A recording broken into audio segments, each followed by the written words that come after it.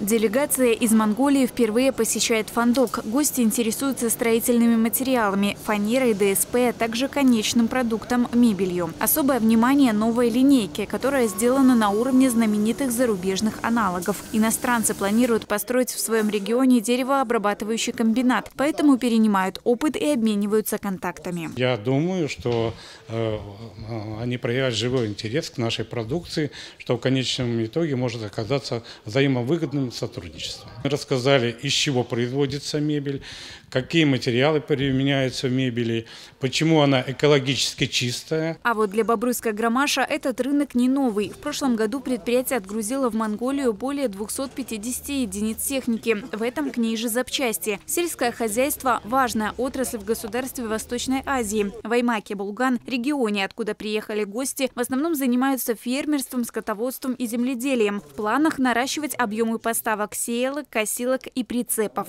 Основной акцент был сделан на цуковом пресс-подборщике. То есть в том году мы более 60 единиц этих машин поставили, и они на них работают, они хорошо с ними знакомы. Наша техника хорошо себя там зарекомендовала и востребована на этом рынке.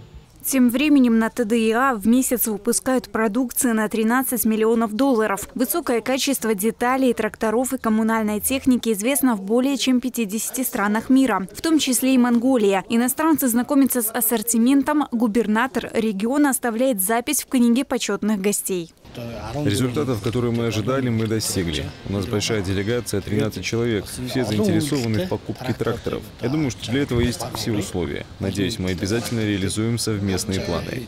В списке визита и 35-я школа имени Павла Батова. Гости смотрят оборудованные классы, просторный бассейн, современные гимнастические и спортивные залы. К слову, Бобруйск не единственный город. В программе практически вся Могилевская область. Динамика в торгово-экономических связях между нашим регионом и Монголией положительная. С начала 2022 экспорт 2 миллиона 700 тысяч долларов. Это почти в пять с половиной раз больше, чем за аналогичный период прошлого года.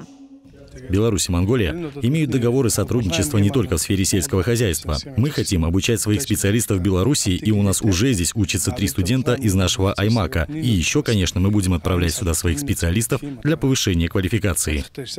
Могилевская область сотрудничает с государством Восточной Азии и в сфере услуг. Внешняя торговля увеличилась более чем в шесть с половиной раз, если сравнивать с 2021. Кстати, в этом году исполнилось 30 лет с начала дипломатических отношений между Беларусью и Монголией. Как показывает практика, эта страна надежный и перспективный рынок для экспорта. Ольга Васенда, Дмитрий Шевцов, Бобруйск, 360.